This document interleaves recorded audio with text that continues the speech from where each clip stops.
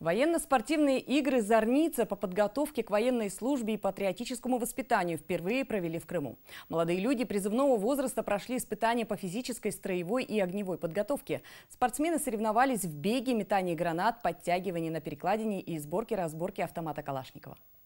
Дай привет. Отстань песню. Вместе. Стой. Раз, два. Дали! Знаменитую игру многих поколений на таком уровне в Крыму проводят впервые. Региональный центр по подготовке к военной службе и патриотическому воспитанию устроил состязания между молодыми спортсменами, на которых они могут приобрести много полезных навыков и знаний. В играх участвуют 100 человек, это 10 команд. Игроки – спортивные молодые люди от 18 до 25 лет. Этапы соревнований сложные. Среди испытаний не только проверка на выдержку, выносливость и физическую силу, перед ребятами представлены и интеллектуальные задачи. Нормативов много, это и военные нормативы, нормативы ГТО, это и марш-броски, это и тактика. Э, Ну, естественно, туда входят и сборки-разборки автоматов, работа с оружием, работа с гранатами.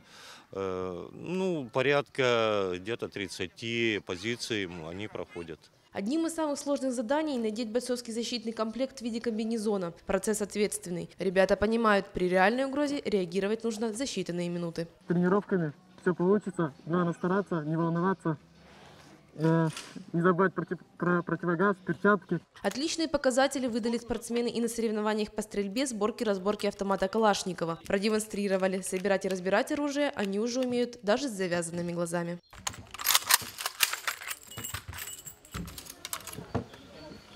Дмитрий Булгаков сдавал нормативы труда и обороны, участвовал в забеге на 100 метров, подтягивался и проходил подготовку со всем взводом. Еще в детстве решил, когда вырастет, хочет быть военным. Я больше хочу попасть в элитный рода войск, чтобы остаться, а потом пойти на нормальную работу, работать каким-то человеком, оставить след после себя.